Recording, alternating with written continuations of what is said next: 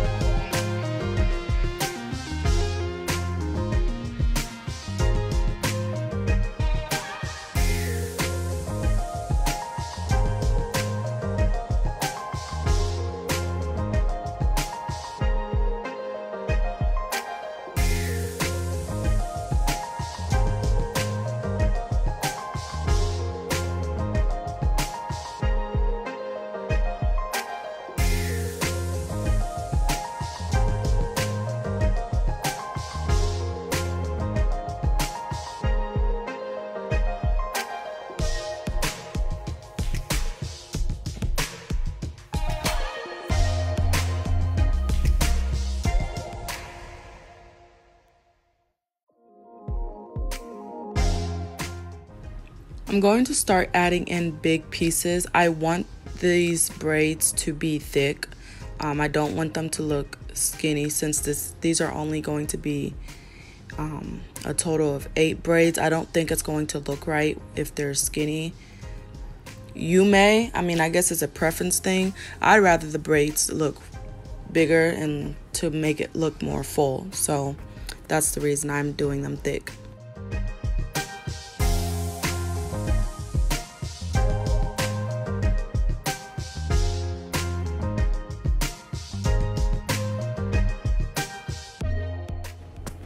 These braids are actually not new. These um these are regular feed-in braids, but even the style of the feed-in braids are not new. Um, I think they just started trending when they took on the name of the late rapper Pop Smoke. People have been getting really creative with these braids though, and I've really enjoyed seeing the different styles that people are coming up with. I might do another video of these braids in the future, maybe just something a little different. You guys got to let me know what what do y'all really think about um these braids like this style. Um would you rock these braids?